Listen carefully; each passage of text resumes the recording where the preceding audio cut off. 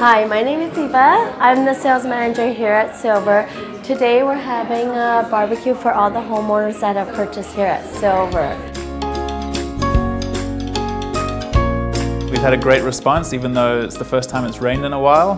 We've had a full house and had a great turnout of very excited, very thankful and very enthusiastic Silver homeowners. So the building is right behind the SkyTrain.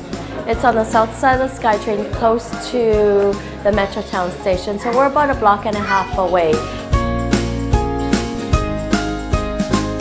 The spec and the quality and the location is still something that people really recognize in the market.